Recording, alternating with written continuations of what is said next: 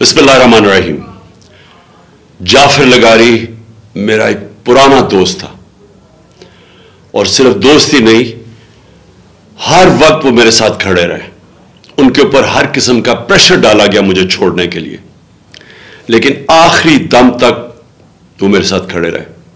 اور میں جانتا ہوں کہ جام پور کے لوگوں کو جعفر لگاری کتنا پیار کرتے تھے۔ میں چاہتا ہوں آپ سب محسن لگاری کو ووٹ ڈالیں۔ محسن لگاری مجھے ریپرزینٹ کر رہے ہیں۔ یہ ضروری ہے ہمیں کہ ہم یہ الیکشن جیتیں۔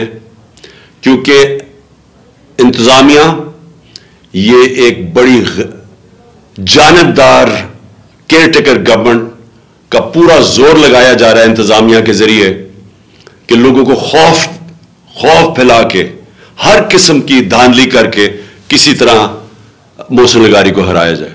میں چاہتا ہوں کہ آپ بھرپور طریقے سے اس الیکشن میں شرکت کریں اور ان سب کو یہ جو امپورٹڈ حکومت کی پیداوار ہے، جنہوں نے اس ملک میں مہنگائی کے ذریعے وہ لوگوں کے اوپر ظلم کیا جو پاکستان کی تاریخ میں کبھی کسی حکومت نے نہیں کیا۔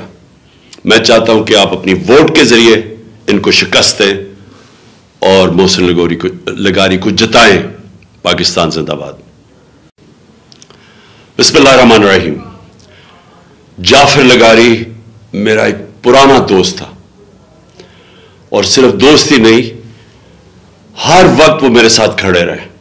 ان کے اوپر ہر قسم کا پریشر ڈالا گیا مجھے چھوڑنے کے لیے۔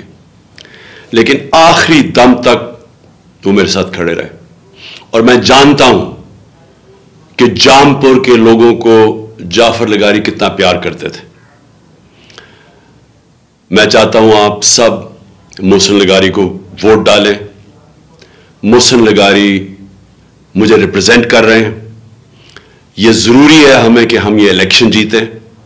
کیونکہ انتظامیہ یہ ایک بڑی جانبدار کیئر ٹیکر گورنمنٹ کا پورا زور لگایا جا رہا ہے انتظامیہ کے ذریعے کہ لوگوں کو خوف خوف پھیلا کے، ہر قسم کی دھاندلی کر کے کسی طرح موسم لگاری کو ہرایا جائے۔